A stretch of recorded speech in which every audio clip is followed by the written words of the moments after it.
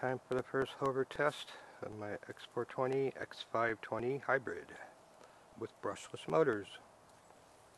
Using an X8 transmitter and a receiver board from an X520 and a pair of 1108 4000 kV brushless outrunners with drone props 3 inch props question is will it all work together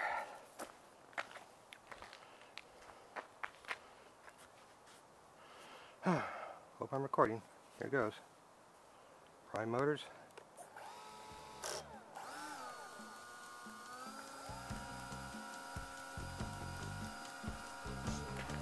We're in vertical mode.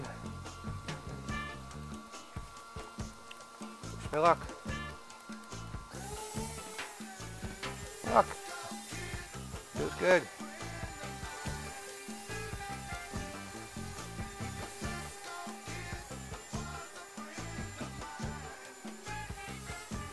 Got full control. Sure, just trying to blow it away from you a little bit. Yeah, I like that. Oh. Tripped out there for a moment. I don't know if it was the wind or what. Alright. Don't like the wind. Alright. Let me.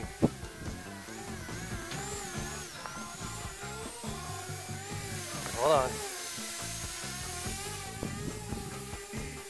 Doesn't like the wind. Alright, let me get down.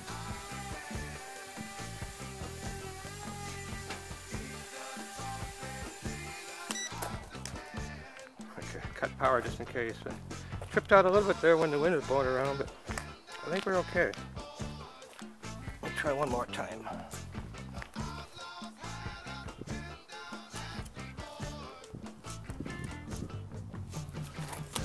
There's a good wind hitting me on the back right now, but not that bad. Let's try again. Could be. I got enough. Yeah, I got it on the last holes on the control horn, so it's not too sensitive. There we go. Air's kind of smooth right now.